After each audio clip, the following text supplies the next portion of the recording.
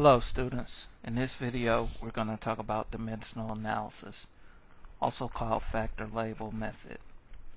Dimensional analysis uses conversion factors to convert a quantity in one unit to a quantity in another unit. For example, if I was converting feet to inches, I would make use of the conversion factor. Um, 12 inches divided by 1 foot because I know that 1 foot is equal to 12 inches. Okay.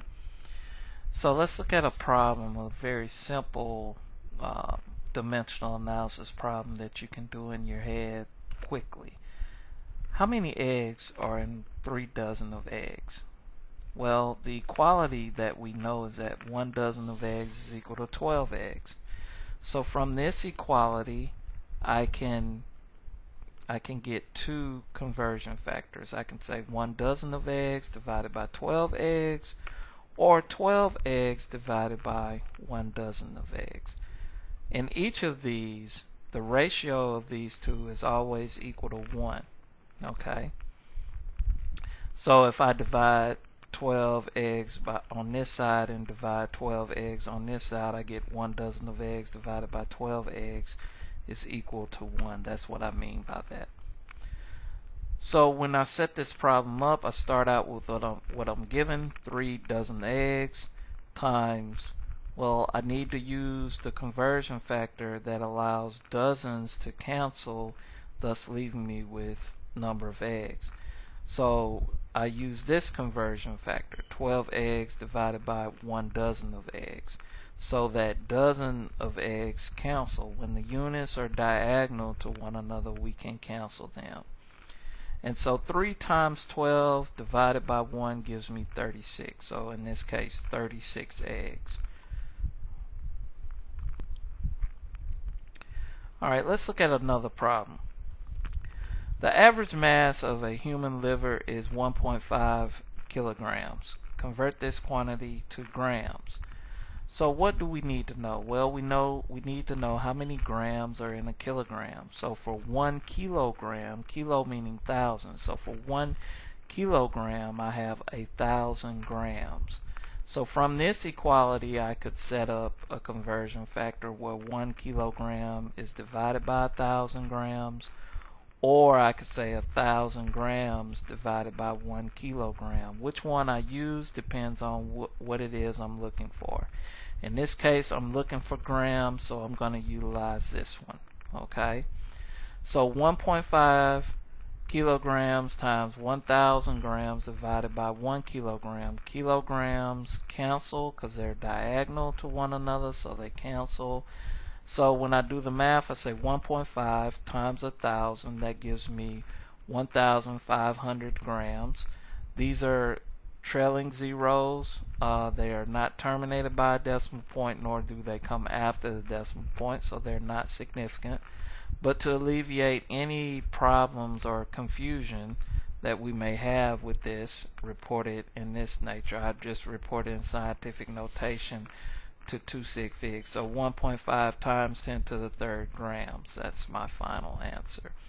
want you to remember that you can't use uh, conversion factors as a way of trying to determine the proper number of sig figs in which to report your answer. You need to use that measured value or that given value, okay, as a means of doing that. So what about converting kilograms to pounds? So in this case, we want to convert the kilograms to pounds. Well, we need a conversion factor that will allow us to convert from kilograms to pounds. So we know that 2.205 pounds is equal to 1 kilogram. And so we can set two conversion factors up from that equality. 1 kilogram divided by 2.205 pounds or 2.205 pounds divided by 1 kilogram.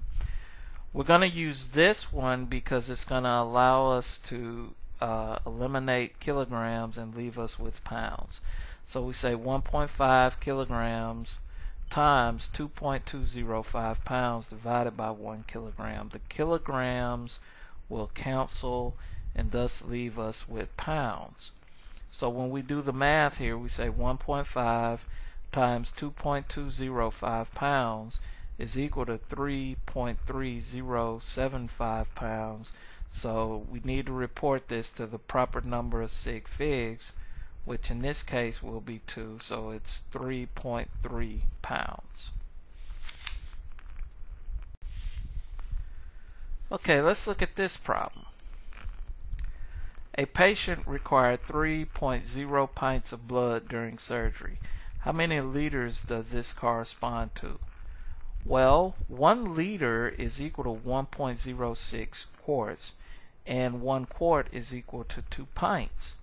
And so if we have 3 pints, right, we can get a conversion factor from here first where one quart divided by two pints so that we get rid of pints, right? So three pints times one quart divided by two pints, pints will cancel.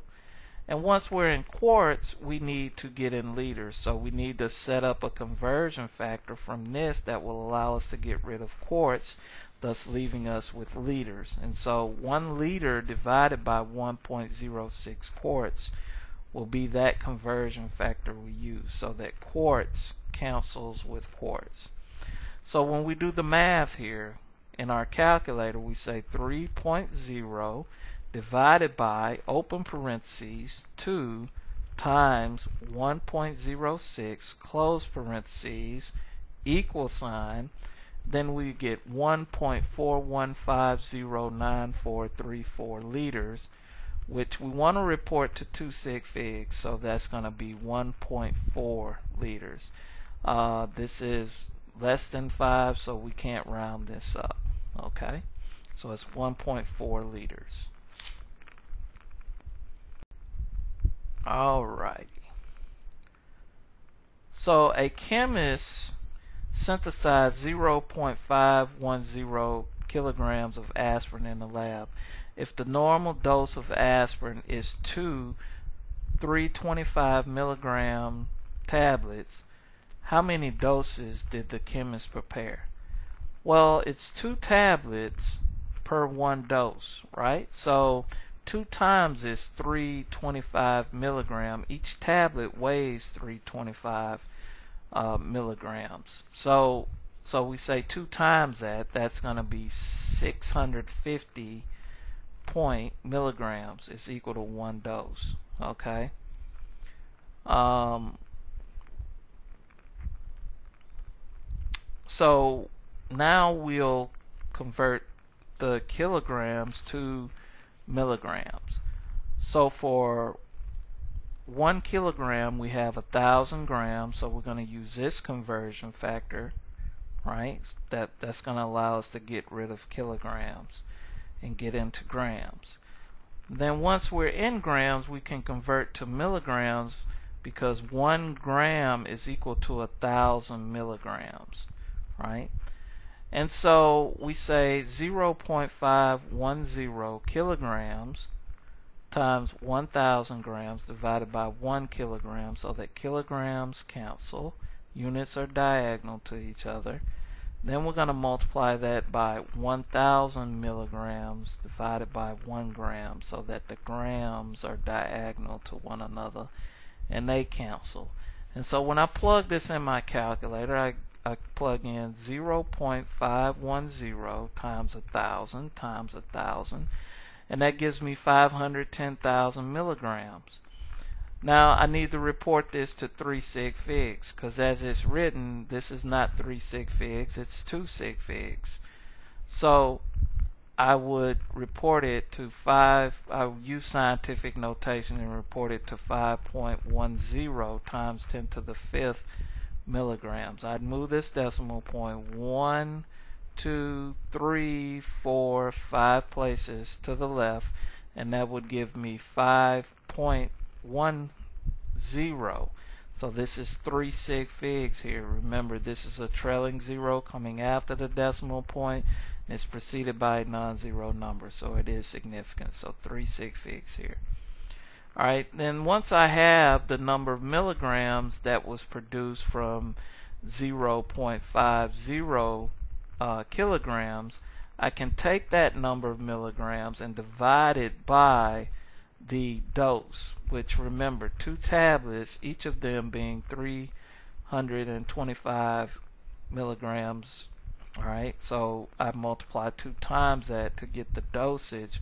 So I'm going to divide this amount by 650 milligrams and that's going to give me the number of doses in um, 0.510 kilograms. So that's going to be 784.6153846, which we would round to 785.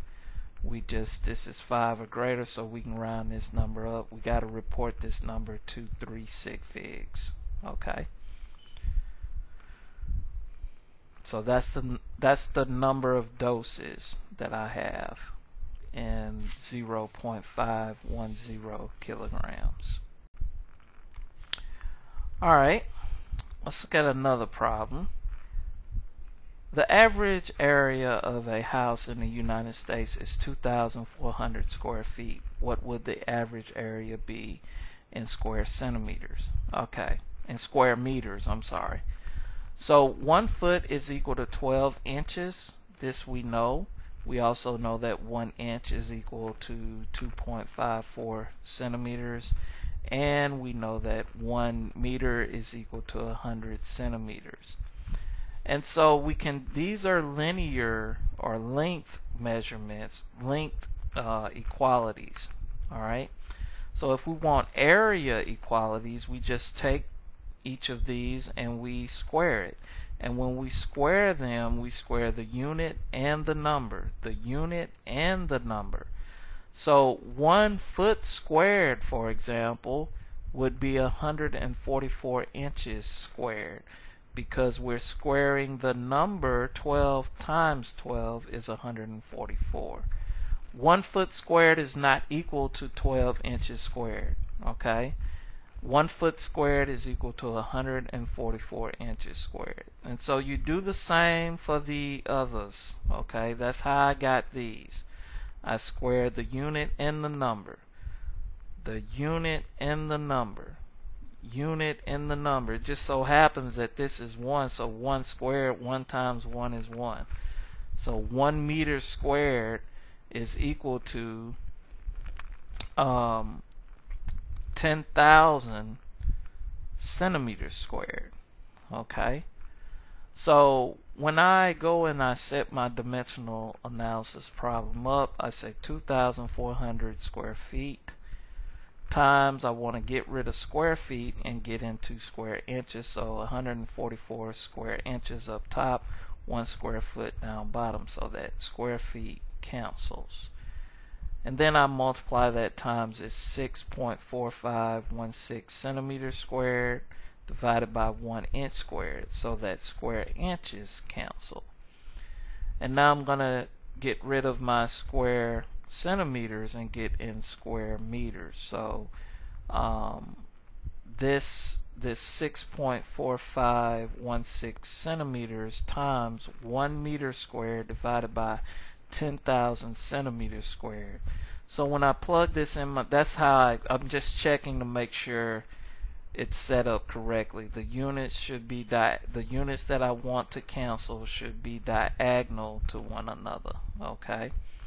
So now when I plug this in my calculator, it's 2,400 times 144 times 6.4516 times 1 divided by 10,000 right? So this is 1 this is 1 you don't have to use parentheses here. Just divide by 10,000 and that's going to give me 222.967296 meters squared. And so I need to report this to two sig figs because I have two sig figs here. These are trailing zeros. They're not terminated by a decimal point nor are they coming after a decimal point. So this would be rounded to 2 point. I use scientific notation. Move my decimal place 1, 2. So this will be 2.2 times 10 to the second meters squared. Okay, a student drives a Toyota Prius that gets approximately 45.0 miles per gallon. What is the gas consumption in kilometers per liter? Alright, so here's what we know. We need a relationship between miles and kilometers. So we know that one mile is equal to 1.609 kilometers. And we need a relationship between gallons and liters. And so we know that one gallon is equal to 3.785 liters. This is a two-step conversion, okay? But don't be intimidated. Let's just focus on converting one unit at a time.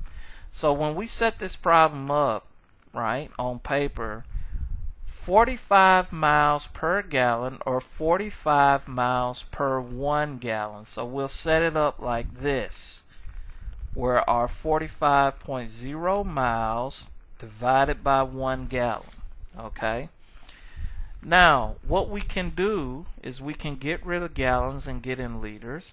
Remember, your units have to be diagonal to one another for them to cancel, okay? That's very important. If they're not and you multiply them, then you get that unit squared. So you need those units diagonal to one another so that they cancel.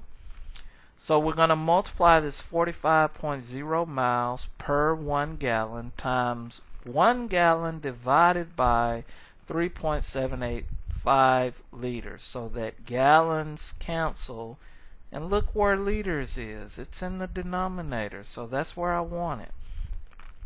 Now we got to get rid of miles. So how am I going to do that?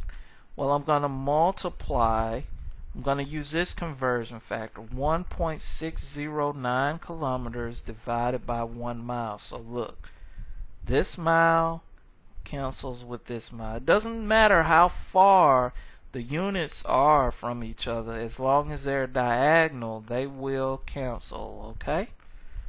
So when I plug this in my calculator I'm going to get 45.0 times 1 times 1.609 divided by open parentheses 1 times 3.785 times 1 close parentheses. You really don't have to use parentheses here. You just uh, divide the product that you get here by this 3.785 liters.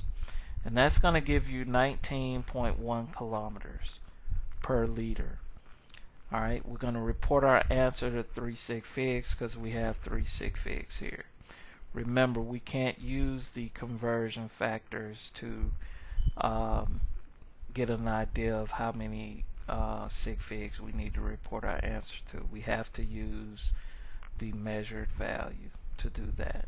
Okay, notice it said approximately. So this is a measured value. Okay, so I hope this video was helpful. Um, and as always, happy studies.